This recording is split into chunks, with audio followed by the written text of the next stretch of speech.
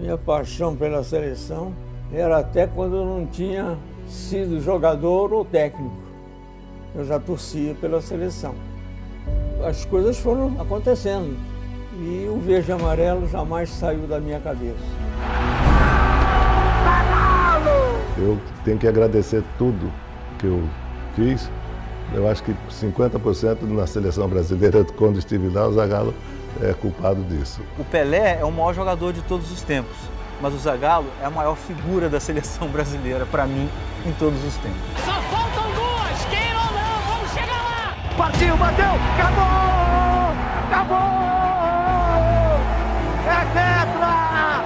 É tetra! Dizendo que o Ronaldo tava morrendo, ficou meio apagado assim, cara, espumando pela boca, uma cena que que eu, meu Deus amado. Seria uma grande injustiça comigo me tirar naquele momento.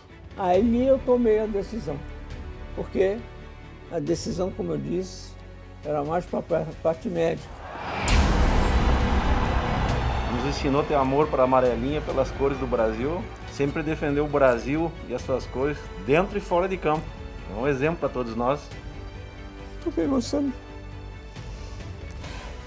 Tudo merecido fez levantar nossas cores no mundo todo. Vocês vão ter que me engolir!